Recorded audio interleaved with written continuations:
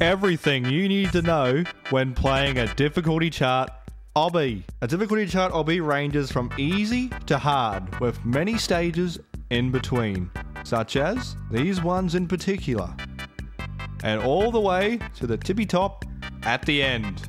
Alright, so the first thing you'll do is turn on shift lock. Press escape, press settings, turn on the shift lock switch, so it should be on, and resume.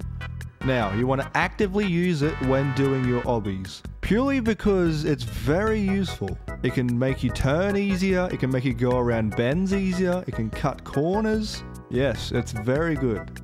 If you're on mobile, I recommend using the in-game shift lock if the developer added in because mobile shift lock isn't a thing on Roblox officially. If they don't have it, I suggest using first person. This is just so you can easily cut corners and get around bends and such. Now you're probably wondering the best controls you could possibly use when doing obbies. So basically I'll show you how I control my character when playing obbies. So if you look at the screen right now, I have my pinky on the shift key, ring finger on the A key, my middle finger on the W and S key, and my pointing finger on the D key, and finally my thumb on the spacebar. This is the best possible controls you can use when doing obbies. So it is highly suggested to practice doing obbies like I do. Five fingers is the meta.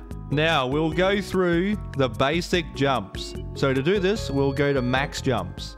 Also, quick side note in case you want to play these games, these games are in the description of the video. So if you want to practice, by all means, please do so. Okay, so the first one we'll go through is the long jump. So essentially, you want to make sure your character's turning sideways and you will hold the D key and press space. So you see how I stop right here. That is because you don't need a big run up to go faster. You only just need to give it your all at the last minute. So hold D, press space. Yes, very good. That is the long jumps. The next thing you'll see in difficulty chart obbies is high jumps. All right, so high jumps tend to be very easy, very easy indeed if you use these strategies. Oh yeah, so you want to hold W, turn, press space and let go of W, and then hold W again. Now this wall is pretty big, so I'm gonna lower it down a bit. This strategy is mostly used for, this, this strategy is mostly used for smaller walls. Oh yeah, so you won't use these strategies for super large walls.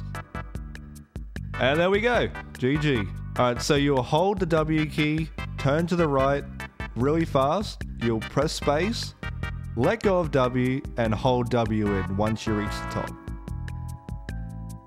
Alright, so the next basic jump you'll do is wraparounds and stick outs. These ones are basically the same. So for wraparound, we'll do, let's do eight studs. So hold D, turn, press space. Just like that. And it's very consistent, as you can see. Alright, and finally, we'll go through the stick out. This one right here. We'll lower it down to, let's say three studs. So we hang over the side, and we'll hold D, press space, then turn around. Like so. Alright, now we'll go through the glitches. We'll start off with truss flick. So, uh, we won't we won't lower the wall down for this one. We just need to get the motion. What you would do is you would jump onto the truss, hold the W key, make sure you're at the tippy top. Now, you want to turn to the right very quickly and press space, then tap W. The reason why I tap W is so I can land back on the truss. Yes, it's very easy. Much easier than you think. Alright, now we'll go through the wall hop. The dreaded wall hop that everyone hates, but I love. Alright, so for the wall hop, you want to aim for the middle of your legs. The reason being is because you can wall hop with your hips and your feet. So aiming for the middle gets the best of both worlds. Alright, so what you want to do is you want to hold space, hold W, and then flick to the right rapidly, very quickly. And just keep doing that. Alright, now I will do everything you have learned in one obby. Alright, now the obby is just behind me over there. So we'll do a long jump. Yes, go sideways. We'll do the sideways long jumps. Just to get there. Alright, so the first one we do is a wrap around. There we go against the wall and wrap around it. Now stick out, stick out, up, and now a truss flick.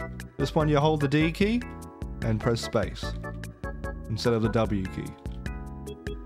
Now we go around here and just jump on this. Now, fun fact for this one. You just need to hold your mouse in the center of your screen to land on it. Like so. Now you can also press shift, then hold right click and land on it. Yes, now stick out. Wrap around. And boom. Now, we will do a zoom in strategy here. So you want to aim for the middle of the tightrope. This one you will also see in difficulty chart obbies. Apologies for not showing you earlier. Now a wall hop. This one's holding the D key.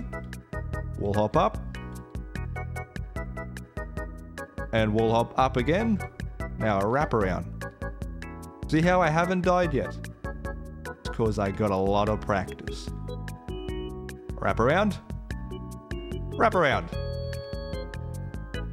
Ladder flick. Oh. I died. If you guys haven't liked the video, subscribe to the channel and your star code squid my Robux and Premium. If you guys don't, you can just and thank you Robux for the star code. I'll see you guys in the next video. Have a good one. See you later.